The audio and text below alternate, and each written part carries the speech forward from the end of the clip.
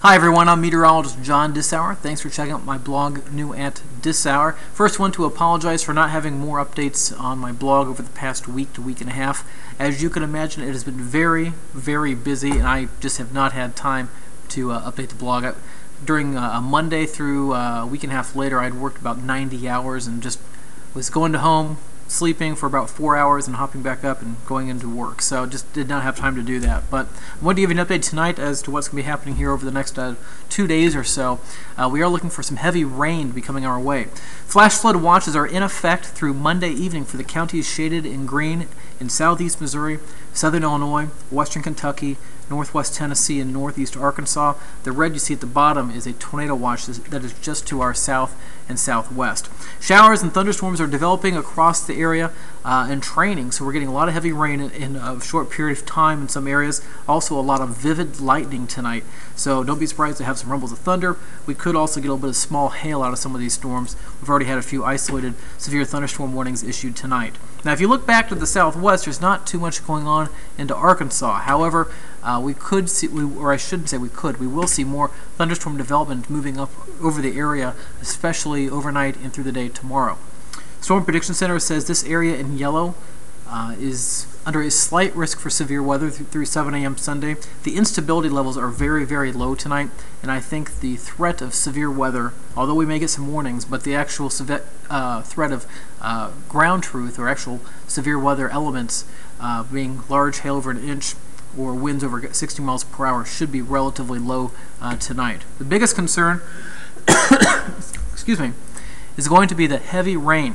Now, new data coming in tonight is indicating uh, the numbers are moving higher for this rainfall for the next two days. This is the 0Z run, or the 7 p.m. run, of the NAM, or the NAM model.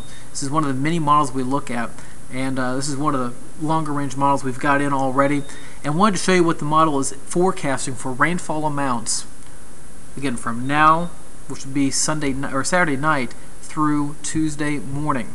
Anywhere from almost two inches in Farmington, upwards of almost seven inches of rain across northwestern Tennessee and even parts of western Kentucky.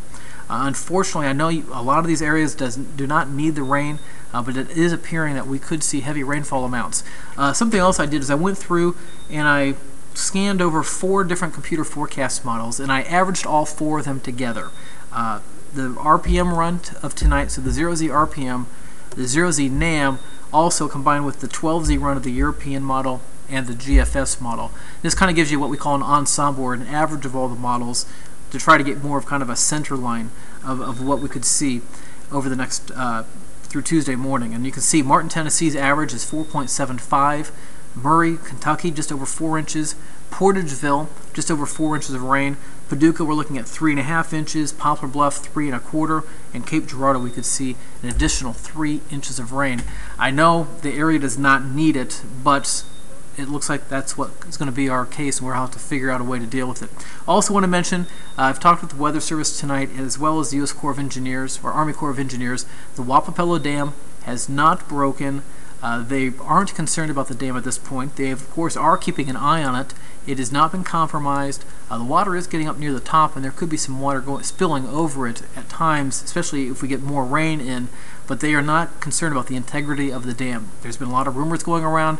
Uh, when you start getting a lot of this type of stuff going on, flash flooding, everybody's concerned about levees and dams, rumors spread very quickly. So the latest from the Weather Service and from the U.S. Corps, Army Corps of Engineers the dam has not been compromised. Uh, they aren't concerned about it being compromised, although they are keeping an eye on that and the water levels. And of course, uh, some of that water could go over the top of it. At this point, they're not expecting a big rush of water or anything like that. So again, it's not compromised, and they aren't concerned about it being compromised. Uh, is the latest indication I've gotten from them. That is the latest from here in the Storm Team Center. Heavy rain possible. Keep the uh, raincoats handy and life jackets handy per perhaps if the flash flooding continues. Uh, and we'll just have to get through this next couple of days and try to get this water through the river system. Thanks for checking out the blog and have a great night.